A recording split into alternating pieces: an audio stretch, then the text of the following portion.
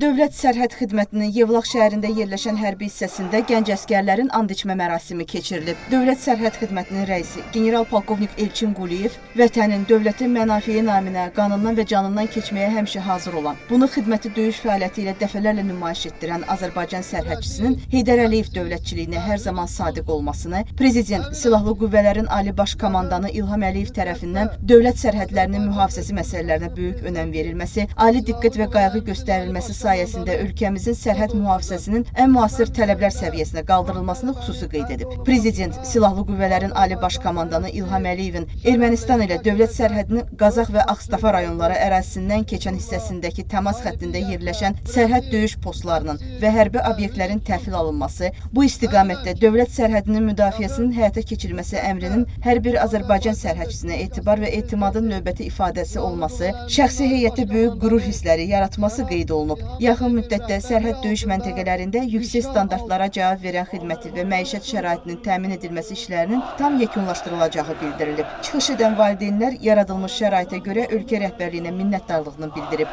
Övladlarını təbrik edərək vətən sərhədlərinin keşiyində ayıq-sayıq dayanmaları barədə məsləhət və nəsihətlərini çatdırıblar. Sevda Cəfərova, Hümmət Məmmədov, Azərtac.